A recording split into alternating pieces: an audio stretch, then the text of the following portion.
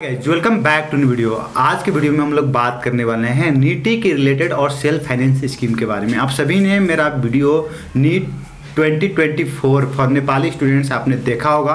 अगर आपने नेपाली स्टूडेंट होते हुए वो वीडियो देखा होगा तो ज़रूर से आपकी मन में ख्याल आई होगी कि सेल्फ फाइनेंस स्कीम के बारे में।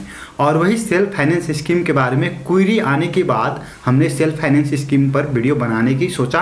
और कैसे सेल्फ फाइनेंस स्कीम के बारे में आप बेहतरीन नॉलेज ले सकते हैं इन्फॉर्मेशन ले सकते हैं, उस सब रिसोर्सेज बताने के साथ साथ अब सेल्फ फाइनेंस स्कीम क्या है और कैसे मिलता है और सेल्फ फाइनेंस स्कीम कब से इंट्रोड्यूस हुआ है, ये सारी चीज़ें हम लोग डिस्कस करेंगे। और सेल्फ फाइनेंस स्कीम में आप जाते हो तो आपको फ़ी क्या लगता है इस पर भी हम लोग चर्चा करेंगे, ठीक है? जैसे कि फॉर एग्ज़ाम्पल बहुत सारे कंट्री में, बहुत सारे फॉरेन विथ इन नेपाल और आउटसाइड नेपाल आपने स्कॉलरशिप सुना होगा, ठीक है?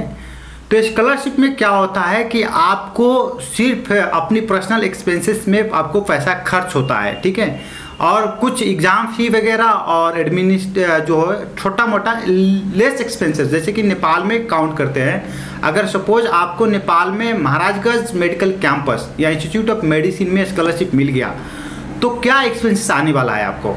आपको एक्सपेंसेस आएगा महाराजगंज मेडिकल कैंपस में दस से बारह हज़ार रुपया जो एडमिशन और एग्ज़ाम फ़ी वगैरह में लगेगा। और आप हॉस्टल में रह रहे हो तो हॉस्टल फ़ी और खाने रहने में आपको पैसा खर्च होगा। सिमिलरली इंडिया में इसकी pattern self finance scheme Indian embassy के द्वारा दिया जाता है। और सेल्फ फाइनेंस स्कीम आने से पहले स्कॉलरशिप होता था। स्कॉलरशिप में क्या होता था? आपको खाने, रहने और बाकी जो एग्ज़ाम फ़ी वगैरह है, वो भी पैसा नहीं लगता था। लेकिन इसने जो सेल्फ फाइनेंस स्कॉलरशिप से सेल्फ फाइनेंस स्कीम में ले आ दिया इंडिया सरकार ने और इंडियन एम्बेसी ने। 2020 से मान सकते हैं कि ये आ रहा है। और 2020 से क्या कर दिया गया कि सेल्फ फाइनेंस स्कीम के ज़रिए आप जा सकते हो। अब देखिए नेपाल में जो स्कॉलरशिप आपको मिलता है यहाँ पर जैसे कि यहाँ पर क्या है कि एक पेइंग सीट और स्कॉलरशिप इस तरह से। लेकिन इंडिया में इस आ, इसको जस्ट थोड़ा सा ऊपर उल्टा होता है। इंडिया में क्या होता है government seat and private seat government seat आपको मिलने के बाद क्या हो गई कि आपको जो एक्सपेंसेस यहाँ पर जो नेपाल में स्कॉलरशिप में खर्च हो रही है, उसी तरह से वहाँ पर आपको स्कॉलरशिप जैसे ही मिल गई मीन्स थोड़ी गवर्नमेंट कॉलेज की जो फ़ी होती है, नाक के बराबर होते हैं। मीन्स कुछ हज़ार में होते हैं। और आपको पता है मेडिकल की जो पढ़ाई है, उसकी जो फ़ी है, लाखों में होती है। लेकिन गवर्नमेंट कॉलेज इंडिया में मिलने के मतलब हो गई कि आपकी जो फ़ी है, कुछ हज़ार में हो गया। तो सो, इसलिए गवर्नमेंट कॉलेजेस सिर्फ़ अलॉट किया जाता है सेल्फ फाइनेंस स्कीम के ज़रिए। और जो भी कॉलेजेस आपको सेल्फ फाइनेंस स्कीम के ज़रिए अलॉट होता है, उसमें से 99 परसेंट कॉलेजेस की फ़ी ऑलमोस्ट स्कॉलरशिप जैसा ही होता है। जैसे कि इसमें लिस्ट भी होता है और इसमें लिस्ट भी इंक्लूड होता है। जैसे कि फॉर एग्जांपल के लिए काउंट करते हैं। सेल्फ फाइनेंस स्कीम को शॉर्ट फॉर्म में एस बोला जाता है और इसमें इस जो भी स्टूडेंट्स इसके ज़रिए जाना चाहता है इंडिया में स्टडी करने, उन लोगों के लिए नीट एग्ज़ाम देना कंपलसरी होता है और नीट क्वालिफाई करना कंपलसरी होता है। अगर आप सी के एग्ज़ाम में टॉपर हो या फेलियर हो इट डज नॉट मैटर कुछ भी मैटर नहीं करता है। तो इंडिया सरकार सेंट्रल कोटा से सीटें एम्बेसी को देता है, जिसमें एमबीबीएस की हो गई या बीडीएस की हो गई या फार्मेसी वगैरह की भी सीटें होती है। तो इसमें M B and B D S के लिए नीट मैंडेटरी होता है और सेल्फ फाइनेंसिंग जो सेंट्रल कोटा से सीटें अलॉट होती है, वहाँ पर उसको बोला जाता है सेल्फ फाइनेंसिंग फॉरेन स्टूडेंट्स के लिए ये सीटें अलॉट होती है। लास्ट ईयर की डाटा अगर देखा जाए तो ऑलमोस्ट तीस तैतीस जो कॉलेजेस है उतना था। और टोटल जो सीटें थी, वो करने मतलब थर्टी नाइन सीटें थी। और जो इसमें एम्स दिल्ली लास्ट ईयर नहीं था। अगर था भी तो उसमें कोई स्कॉलरशिप सेल्फ फाइनेंस में ज़्यादा नहीं था। जैसे कि इंडियन बच्चे जितना आपको पैसा नहीं लगता, ज़्यादा पैसा लगता, एम्स दिल्ली में seventy five thousand US dollar आपको लगता। एम्स दिल्ली की जो कॉलेजेस है, एम्स दिल्ली में, जो AIIMS Delhi all India institute of health sciences बोलते हैं ओ एम्स को। उसमें आपको कोई भी टोटल सीटें जो है आज फॉर लास्ट ईयर टोटल सीटें है 132 है, जिसमें से सेवन सीटें फॉरेन स्टूडेंट्स के लिए हैं, और सेवन में सेवन टोटली पेड सीट है, और उसमें आपको टोटली फ़ी जो है, उसका सिर्फ़ seventy five thousand US dollar लगेगा। और जो भी फ़ी लगेगा, वो आपको फॉर डॉलर में है तो आप डॉलर के हिसाब से कैलकुलेशन कर सकते हो। अप्रोक्स आपको नेपाली करेंसी में वन करोड़ रुपया लगेगा, ठीक है?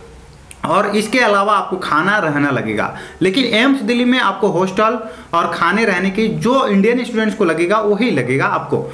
लेकिन बाकी कॉलेजेस में आपको इतना नहीं लगेगा। जैसे कि फॉर एग्जांपल के लिए मैं आपको बताता हूँ, अपने मोबाइल से जो मेरे पास डाटा है और एफएमसी पुणे की बात किया जाए। FMC Pune every year FMC Pune में सीटें अलॉट होती है एसएल फाइनेंसिंग स्कीम के ज़रिए। और एफएमसी पुणे में अगर आप जा रहे हो, ठीक है तो आपको कोई भी ज़्यादा फ़ी लगने वाला नहीं है ऑलमोस्ट ज़ीरो फ़ी लगेगा आपको एफएमसी पुणे में। और इसके ज़रिए एक और आते हैं, क्या हम अगर ये सेल्फ फाइनेंसिंग स्कीम के ज़रिए जाते हैं तो कोई बॉन्डिंग होता है तो बिल्कुल कोई बॉन्डिंग नहीं होता है। अभी तक जो बच्चे गए हैं, कोई बॉन्डिंग नहीं है। तो आप बॉन्डिंग के लिए उतना टेंशन लेने की भी ज़रूरत नहीं है कि आपकी ये बॉन्डिंग हो जाएगा, वो बॉन्डिंग हो जाएगा। तो ये बॉन्डिंग के लिए आप टेंशन मत लो और आराम से आप पढ़ाई करो। अब होता है कि जो कैसे आप इंफॉर्मेशन गैदर किया जाए नीट के लिए आ, उसके बाद आपको सेल्फ फाइनेंसिंग स्कीम के लिए। तो सबसे पहले मैंने बताया आपको सेल्फ फाइनेंसिंग स्कीम के लिए मस्ट मैंडेटरी जो चीज़ है नीट का स्कोर कार्ड और नीट आपको क्वालिफाई होना। तो नीट पहले सबसे आप सेल्फ फाइनेंसिंग को कुछ देर के लिए भूल ही जाओ। आपको सबसे पहले नीट के लिए फोकस करना है कि how I can get maximum marks in NEET. NEET में कैसे ज़्यादा से ज़्यादा नंबर ले आया जाए। ये आप पहले सबसे पहले सोचो।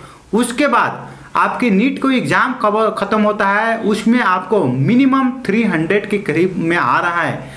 तो आप सेल्फ फाइनेंस के लिए खोजना शुरू करो कि that is one of the safe zone बोलते हैं। लेकिन आपको काम आ रहा है तो भी अप्लाई कर सकते हो। Just minimum apply application form fill up करने के लिए जो है, वो कहने का मतलब आपको वन जो भी कटअप रहेगा last year one three seven था, जो भी कटअप रहेगा, वो रहेगा आपको। जैसे कि कुछ कॉलेजेस की फ़ी स्ट्रक्चर्स देख लेते हैं। जैसे कि देखो आप महाराष्ट्र स्टेट कॉलेज है, जहाँ पर आपको B G M C Pune बोलते हैं उसको। जहाँ पर आपको अगर मिलता है तो एनुअल जो फ़ी होगा आपको, एक लाख चौबीस हज़ार और आपको hostel fee four thousand year पर ईयर आएगा इंडियन करेंसी में। जेएमसी जलागन में है एनुअल फ़ी जो है एक लाख छब्बीस हज़ार पर ईयर और हॉस्टल फ़ी चार हज़ार रुपया आएगा। जेएमसी नागपुर में आपको एक लाख सोलह हज़ार आठ सौ रुपया पर ईयर आएगा एनुअल फ़ी और हॉस्टल फ़ी चार हज़ार आएगा पर ईयर उसके बाद R C M R R C S M G C जो है कोहलपुर में, इसमें एक लाख अट्ठाईस हज़ार आपको पर ईयर फ़ी आएगा। आईसी में और हॉस्टल फ़ी चार हज़ार पर ईयर आएगा। एफएमसी पुणे में ज़ीरो फ़ी है, कोई भी एनुअल फ़ी कोई भी हॉस्टल फ़ी नहीं है आपको। उत्तर प्रदेश स्टेट कॉलेज है। में जो उत्तर प्रदेश में जो कॉलेजेज है, उसके बारे में बात कर रहे हैं। जी एस वी एम जो है कानपुर में छत्तीस हज़ार पर ईयर फ़ी है आपको। और पैंतीस रुपया पर ईयर आपकी हॉस्टल फ़ी है। इसी तरह से बहुत सारे कॉलेजेस है, इसमें आपको तो hi guys welcome back to new video आप देखेंगे कि जे इंडियन एम्बेसी जो है, वहाँ आपको मिलता है एमबीबीएस की self finance scheme and BDS की सेल्फ फाइनेंस स्कीम इसके साथ साथ इंजीनियरिंग फार्मेसी वगैरह का भी आते रहते हैं scholarship and self financing scheme का प्रोग्राम तो एक्चुअली में ये सारी चीज़ें आप कहाँ देख सकते हैं, कैसे देख सकते हैं, ये चीज़ें को बहुत ही कन्फ्यूज़न होता है स्टूडेंट्स को.